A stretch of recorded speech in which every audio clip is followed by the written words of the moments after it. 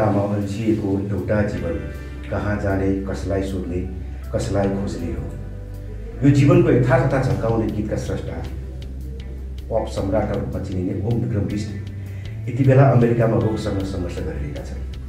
नेपाली सङ्गीतलाई अलग धारमा हुने गायक विष्ट अमेरिकामा थला परेका छन् तर विष्टको बारेमा काठमाडौँमा मात्रै होइन संसारका सत्तरीभन्दा बढी देशमा सङ्गठित भएका नेपालीहरू नै बेखबर जस्तै छन्।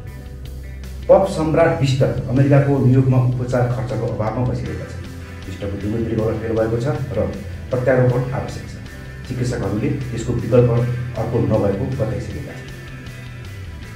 अमेरिकामा छोरी ज्वाइँको साथमा बस्दै आएका विष्ट यति बेला हप्तामा तिनपटक डायलिसिस गरिरहेका छन्। आफू आर्थिक सङ्कटमा परेको बताउँदै पनि भन्छन् छोरी ज्वाइँको घरमा पाहुना लागेर उपचार गरिरहेको छु। दुवै दुर्बला फेल भएको छ। हप्तामा तिन दिन डायलिसिसका लागि अस्पताल जानुपर्छ। तपाईँको खर्च बेहोर्छ नि होइन र अहिलेसम्म कति जति खर्च भयो? के साँच्चै तपाईँलाई उपचारका लागि पैसाको अभाव भएको हो त? विष्टको उपचारका विषयमा अमेरिकामा विरोधावासी कुरा पनि आयो। उनलाई पैसा उठाउन खोजेको आरोप पनि लगाइयो। यस्तो प्रश्नमा विष्टको आक्रोश थियो। उनी भन्छन् नौ महिनादेखि नियमित उपचार गराइरहेको छु। म बिरामी मान्छेलाई तपाईँ कति आघात पार्नुहुन्छ। यस्तो क्वेसन सोधेर अहिलेसम्म कति खर्च भयो हिसाब किताब नै छैन। म कसरी तपाईँलाई हिसाब देखाउँ? उपचार मात्र हो र अमेरिकाको न्युयोर्क जस्तो महँगो सहरमा बसेर खान पनि त खर्च खर्चै लाग्छ नि। त्यसमाथि पनि म त बिरामी डक्टरले भनेअनुसारको खाना खानुपर्छ। वाच परहेजमा बस्नुपर्छ। डायलिसिस गर्नलाई मात्रै त इन्सुरेन्सले पनि बेहोर्छ। यो साँचो हो। तर अस्पताल जाँदा आउँदा र औषधिमा लाग्ने अन्य खर्च इन्सुरेन्सले बेहोर्दैन। म यस्तो बिरामी छु।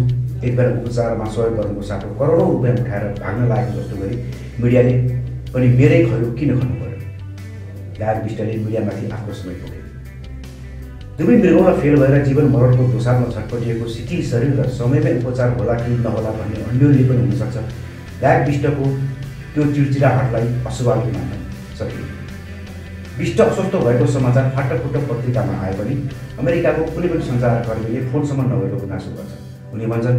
तपाईँ चाहिँ पहिलो पत्रकार हो जसले मेरो स्वास्थ्य अवस्थाबारे बुझ्न खोज्दै हुनुहुन्छ अहिलेसम्म कुनै पत्रकारले मलाई फोन समेत गरेका छैन मलाई यहाँका पत्रकारदेखि अति नै चित्त दिएको छ। शारीरिक रूपमा अशक्त भएपछि आशा र भरोसा सबै लाग्ने रहेछ।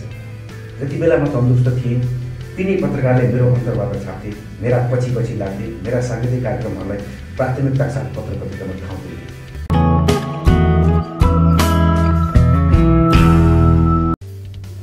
अहिले यस्तो अवस्था हुँदा मलाई साथ कोही छैन।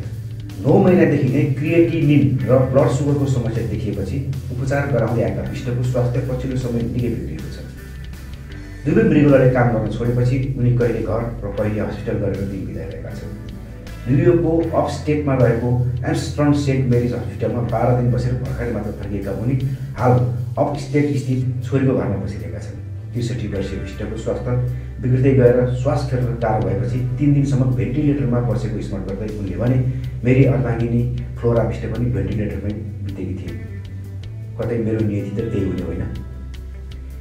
डायलिसिस गराइरहेका उनले अब जतिसक्दो चाँडो मृगौला प्रत्यारोपण गराउनु पर्नेछ। तर अमेरिकाले उपचार गराउने हो भने मृगौला प्रत्यारोपणका लागि पाँच वर्ष पर्खाउनु पर्ने हुन्छ अमेरिकाको किडनी पेसेन्ट एसोसिएसनले डोनर पाउन कम्तीमा पाँच वर्ष पर्खनु पर्ने बताएपछि उनको परिवारले भारत लगेर प्रत्यारोपण गर्ने योजना साथै मृगौला दान गर्ने व्यक्ति पनि तयार हुनुपर्छ। विष्ट भन्नुहुन्छ मलाई माया गरेर यति ठाउँबाट मृगौला दान दिन तयार हुनुभएको छ। सबै चाँजो पाँचो मिलेपछि मात्रै उपचार सम्भव छ। अहिले यत्रो खर्च जुटाउन निकै अप्ठ्यारो छ। तर पनि हालसम्म मैले कसैसँग मागेको थिइनँ कसैसँग एक रुपियाँ लिएको पनि छैन। आर्थिक सहयोग सङ्कलनका विषयमा गायक विष्ट चित्त दुखाउँदै भने कसै कसैले भन्छन् गायक विष्ट आफै सम्पन्न व्यक्ति हो किन चाहियो उसलाई दुनियाँको सहयोग? त्यस्तो राय व्यक्त गर्नेहरूको लागि विष्ट भने मेरो घरबार पुरै बेच्यो भनेर उपचार गर्न सक्नुहोला तर पनि मेरो सिङ्गो जीवन नेपाली सङ्गीत क्षेत्रमा लगाएको छु। के? मेरो मृगौल उपचारका लागि घरबार पुरै बेचौँ त? बिस्तारै विष्टको उपचारको लागि खर्च जुटाउने तालमेल सुरु भएको छ। सोही उद्देश्यले अमेरिकामा गो फन्ड मी नामक अनलाइन साइट मार्फत आर्थिक सघाउने अभियान चलाइएको छ। नेपाली आधुनिक सङ्गीत र पप सङ्गीतको धार परिवर्तन गर्ने दुई हस्ती सङ्गीतकर्मीको माझमा उभिन्छन् गायक विष्ट। आधुनिक सङ्गीतको धार परिवर्तन गरेर स्वर सम्राट बनेका नारायण गोपालपछि आधुनिक सङ्गीतलाई अत्याधुनिक पाराले गाएर अहिलेको चलचल्तीमा पप गीतको सुरुवात गरेका विष्टलाई पप सम्राट भनिन्छ। उनका सयौँ गीत अत्याधिक लोकप्रिय छन्।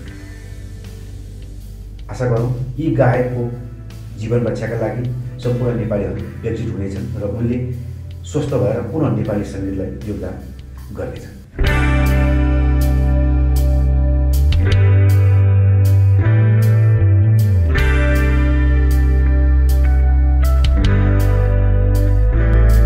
ओल्ड अन डिमान्ड विदेशमा नेपाली तथा हिन्दी टिभी च्यानल हेर्न। W W W dot old on demand dot net